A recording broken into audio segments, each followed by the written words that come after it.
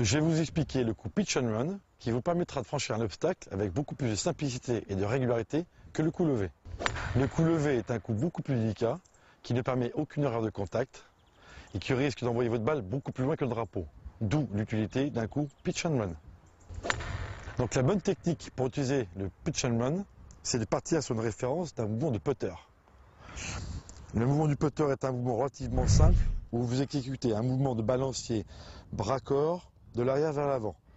Aucune action de corps, aucune action de jambe. Le manche du putter est installé en face de la tête du putter et le mouvement va plutôt balayer le sol. Pour exécuter un coup pitch and run, vous utilisez un pitching wedge.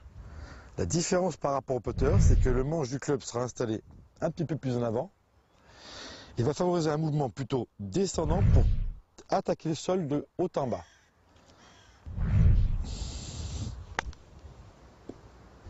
Principales erreurs qui génèrent un mauvais contact sont dues à une mauvaise installation du corps et du club par rapport à la balle.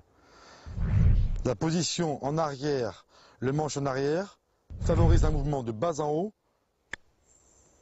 et fait prendre la balle sur la tranche du club. Mettez-vous maintenant en situation concrète avec un obstacle. Je rappelle les consignes.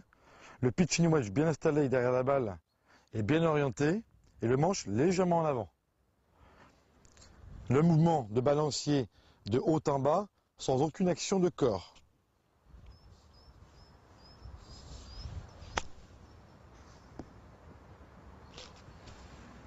Voilà.